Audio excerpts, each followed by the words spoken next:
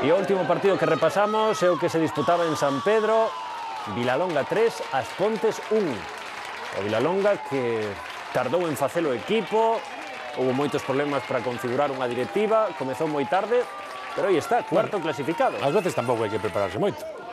Demostra o Vilalonga. Marcaba Roberto Piñeiro o 1 a 0, empataba Eloi con ese gol Pero as Pontes, unhas Pontes que quedou con 10 xogadores por certo, pola expulsión de Rochela, de Javi Rochela, o irmán de David, e a balón parado sentenciou o Vilalonga, Primeiro con ese tanto do exxogador de Clube Deportivo Ourense, Isma. Que importante o balón parado, sempre dicimos. Os, Os equipos que tiran proveito desas directo, eh, mira o Vilalonga como sentenciou. Con dos lanzamentos de córner, o primeiro marcou Isma. En este segundo, a cabezada foi do outro central, de Miguel Vázquez.